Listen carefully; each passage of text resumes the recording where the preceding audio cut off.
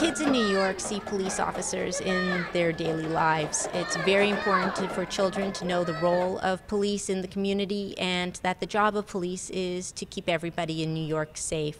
This is a great way for kids to be exposed to police officers and to try out and learn about the skills that police officers need to do their jobs.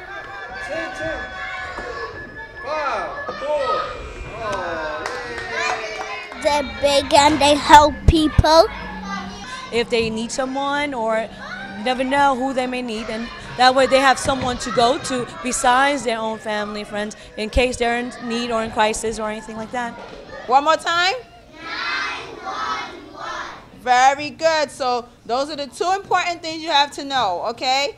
Police officers are your friend, and if you are in trouble, you call 911 or you go to a police officer, okay? Cause you because you're not gonna be safe if we don't have no police